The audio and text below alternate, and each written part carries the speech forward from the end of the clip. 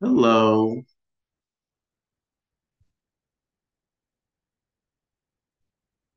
Okay, so my project is on the water. It's a water project. It's about it's pertaining to more towards all the controversy, the pros and cons of the whole issue with CalAm's proposed desal plant. Um, okay. So I'm gonna first start off by talking about what desal um, desalination is. And desalination is a process that turns water that comes from the ocean into turn in, into drinkable water. Um, desalination is a process that leaves pretty much almost no elements in the water after filtra- filtration. In fact, minerals are often needed to be added to, back into the water to make it plat- palatable to drink. Um, desalination is a process that can last about 15 years. You know, it can only be done in coastal and inland areas, mainly coastal. If you're close to the ocean, there's benefits to desalination can occur. Um, it's a process, it's proven technology. There's already about thousands of desalination plants out there in the world today. So it's definitely proven technology of, of a process that works, but there are definitely some cons to it. I'll get into it later. Um, in this picture, I'm just simply going to describe to you this image. So in this image, um, water would be extracted from the, where the slant wells is, which is all the way to the left of this image. You'll see like a red thing going past Cabrillo Highway, which is right here, Highway 1. I don't know if you guys can see my arrow, but this is the slant wells right here. This is where the desalination plant is going to be. And if you go down, and then from here, it's going to go down the Del Monte Road, and then it's going to basically go go all the way through, going through the city of Marina into Monterey once the water is desalinated. Over here is a landfill, the sewage treatments right here, and 30 acres of compost windrows is right here, and the desalination plant's right here. Mm-hmm. Next slide. This slide is simply just wanted just to, to show this slide so you guys can see the of waters that we have. You know, we have pure water in Monterey, you have aquifer storage recovery. Also have from Sand City, I believe. I think that just one in Sand City. And Carmel River, you have Seaside Basin. And if the desal plant is made, this is how much, this is like an approximation of how much it would be taking throughout the whole county. Um, so why is desalination bad? Is a question that a lot of you are wondering. So for one, the process is just very expensive, simply put. Um, and while it's very expensive, um, you're talking about. So last time the estimate was done, it was the desal that was in 2017. It was a 298 million dollars. But when you update it to the construction's cost index for 2018 to 22 to 2022, the number turned into 426 million bucks.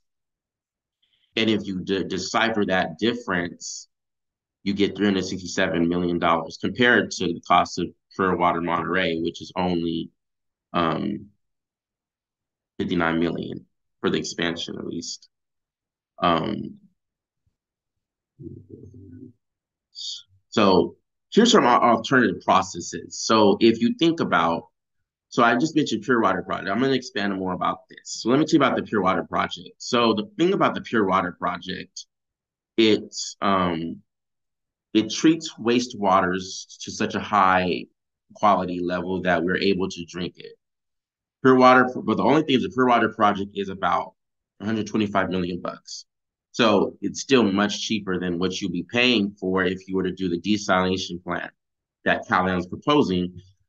But yeah, that's how much it costs. Only thing is Monterey Coast Water District and Monterey One Water got only about $337 million of grants that came from state and federal government to cut that was coming into the community. 60 and 7 million um, was on the expansion. Um, but they already landed about, they only landed about 15 million dollars in state and federal grants, and they're still pursuing additional grants. The Pure Water Project, it uses a process called reverse osmosis, which is a filtration method used for the removal of molecules and ions from drinking water. And the second, the other second alternative water supply is uh, Reservation Road and Fort Ord desalination, Fort Ord desal plant project. It um, Marina Coast Water District was pioneered as the first desal project in 1996 in in the areas, and was ran and ran all the way to 2033. The project is still over on Reservation Road facility. In a Reservation Road facility, district staff are still reviewing that project and developing the engineering necessary to board and decide whether or not to restart the plant. Um, so there's a possibility that it's giving an option for the thing. Um, next slide. Also, a, a, bad thing about desal about the desal plant being built, it it's already in an, an area that's industrialized, and as you can see in my other slide, it's on a disadvantaged community of people that basically are in fixed incomes, can't speak, they can't speak English, you know, mostly elderly people barely making it. You know, it's not an area in most 64% people of color live in the area. It's not a place to really do a desal plant, to be honest. And by fact that the CalAm was willing to do one, it's problematic. Seawater intrusion is also a problem. I've been that's one reason why people are nervous because if this is coming from the ocean, there's possibility, you know, the process could fail or possibly can be bringing in salt or miss something, you know? And since it, and the thing about the desal plant, if it's built, it's going to interfere with other aquifers. So when it's built, it's going to interfere with Marina's groundwater basin and Seaside's groundwater basin and other aquifers. So it can technically, if the if if the desal plant has problems with it with its process of desalinating the water, it could technically contaminate the water. You know, so there's this debate like, okay, like, is it to be built or should it not? You know, because, you know, what if it's not right? And if it's interfering with aquifers, the other water can be contaminated and not be drinkable. Maybe even have some sort of chemical in it that could make it not good.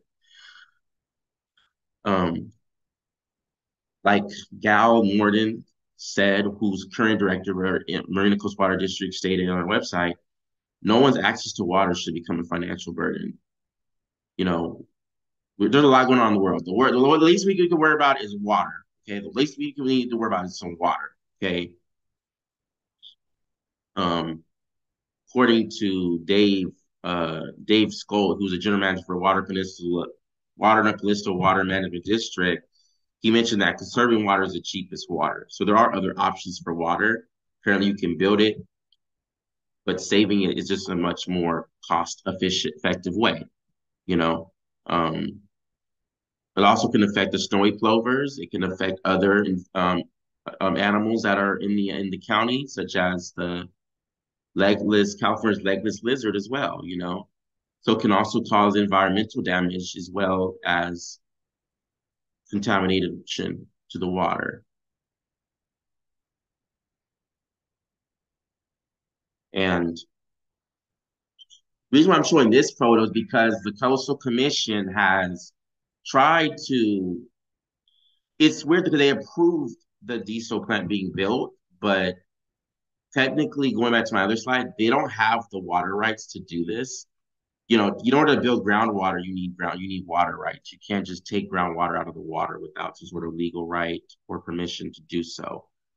You can take water out of the ocean, fine, but you can't just take groundwater. So right now, they don't have a legal pr- protocol to do so.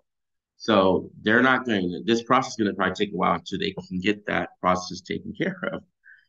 Um, but reason why I want to show these two pictures because the it, it showcases that the California Coastal Commission support supports they understand what's going on, but yet they are allowing this plan to be built. Kind of makes no sense, you know. And here's the other one, you know, saying the proposed CalAm project also results in adverse coastal resource effects within the community of marina that is already disproportionately burdened by many other industrial users and would receive none of the benefits. There's a long history of government institutions allowing unwanted industrial developments to be concentrated in undeserved communities of color without their consent, proving yet another world perpetuate this discrimination land use practice in marina. So they kind of know what's going on. They know the issue that marina's kind of facing, but yet they just accepted a desal plant. Kind of sounds a bit shady, don't you think? So, you know, here's one of the protests that kind of was occurring while the meeting was going on at the Coastal Commission. A lot of residents of Marina are not happy by this process being approved, just because it's going to affect their, their affect Marina. It's going to be uh, affect the city that's already been industrialized, and it, it's kind of unacceptable. You know, it's really unacceptable, and, and they need to ch- change that. And going back to the snowy plovers, like we have a lot of beaches in Marina that are pristine, natural, vast, and there's a lot of endangered species on them. And to be exact, the California Coast Commission report that there's 14 of them in the city. So they're going to be affected too, along with the fact it's going to affect the city, the city marina's residents. Here's some students. There were some students that spoke there about their opinions going against the water a plan. You know, students from Marina High School. You had students from Girl Scouts. You know, one girl had to literally get a stool just to be able to talk, talk about her opinion. It's a serious issue.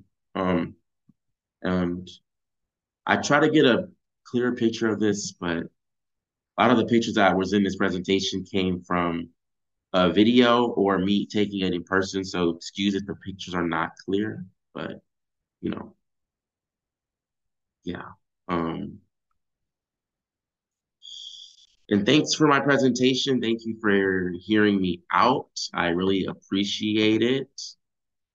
Um, I mean, it's a lot, you know, but like anything else, you just got to press through and keep trying to make it. So take care. Thanks for hearing me out.